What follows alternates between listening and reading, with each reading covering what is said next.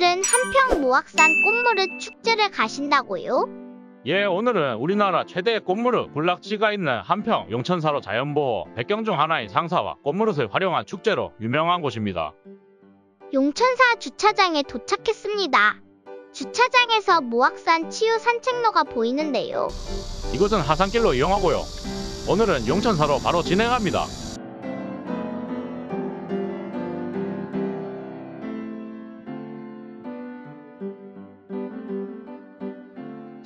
샤인머스켓 농원이 많이 있어 직판장도 운영하고 있습니다.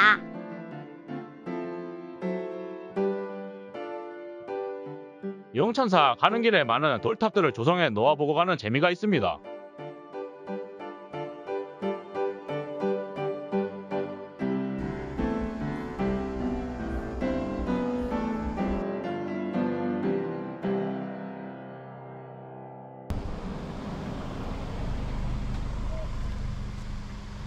광암저 수지인데요. 물이 별로 없습니다.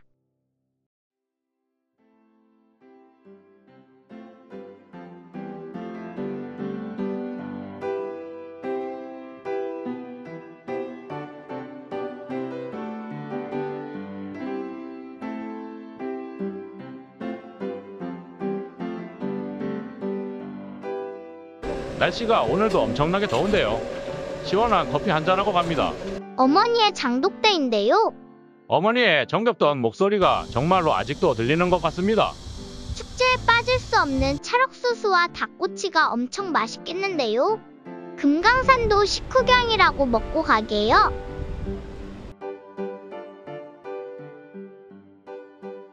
일주문을 지나가는데 옆 공연장에서 멋진 시가 마음을 끌게 합니다.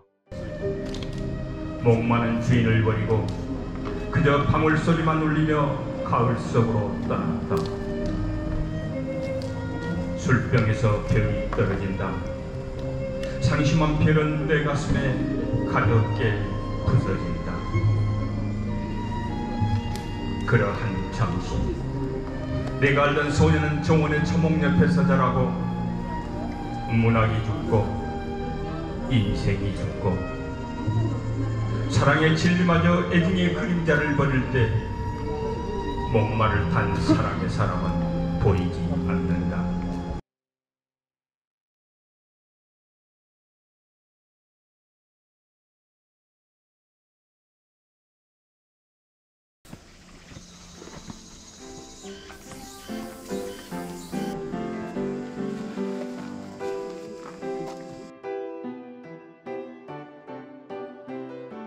한평 용천사는 전남 한평군 광암리에 위치한 용천사는 대웅전 정면 돌계단의 오른쪽 샘에서 유래한 이름으로 용이 그 연못에 살다가 승천하여 용천으로 불렀다는 전설이 내려오고 있습니다.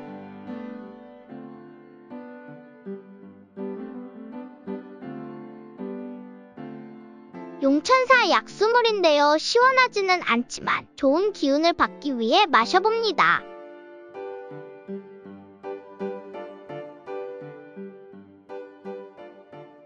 이제 대웅전을 나와 48경 꽃무를 군락지로 진행합니다.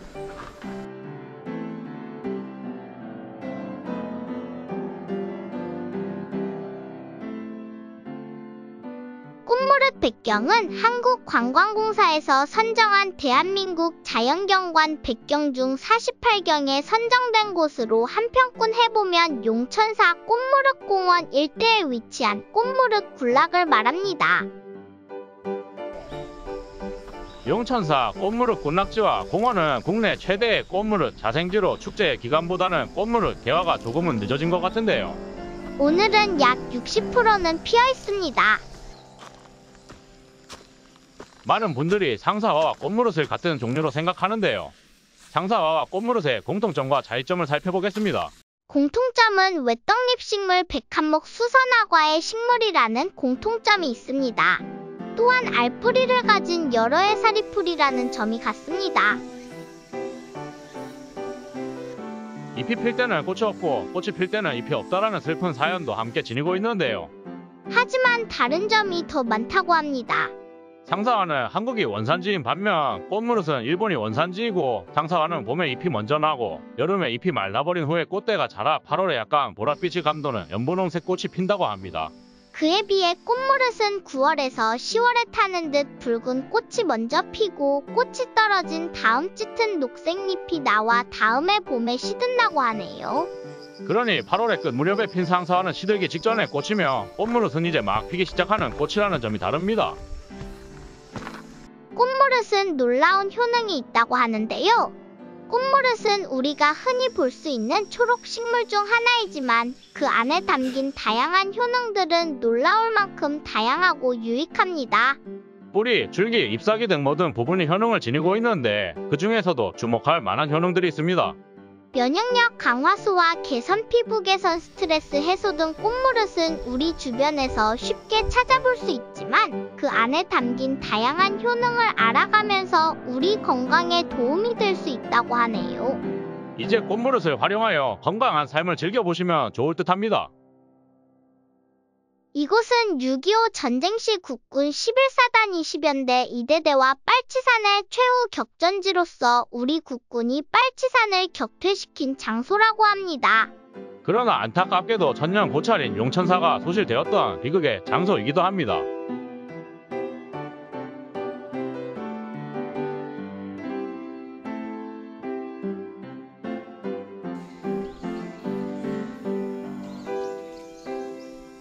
갈림길에서 구름다리 방향으로 진행합니다.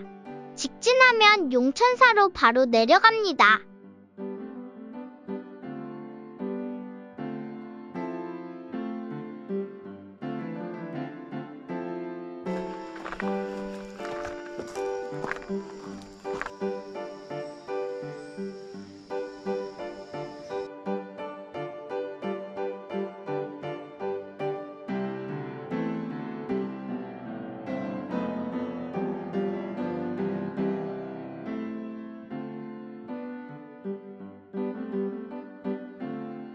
아이스 깨끼가 겁나게 시원하구만이라.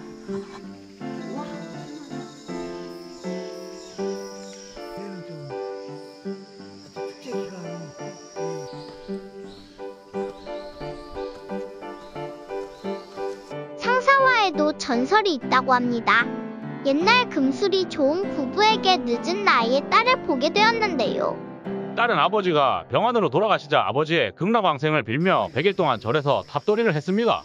당시 이절에 큰 스님 수발승이 그녀에게 연모하는 마음이 생겼지만 스님인 자신의 처지에 말도 못하고 시름시름 앓다가 죽고 말았다고 합니다. 이듬해 스님의 무덤에 입히진 후 꽃이 피어났는데 말 한마디 건네지 못한 스님의 모습을 닮았다 하여 꽃의 이름을 상사와라 전해졌다 하며 꽃말이 이룰 수 없는 사랑입니다.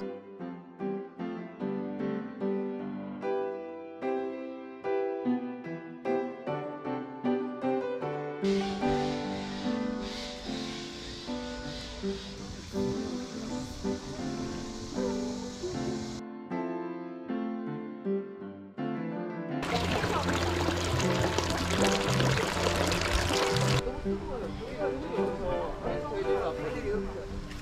길은 모악산 산림욕장이기도 합니다.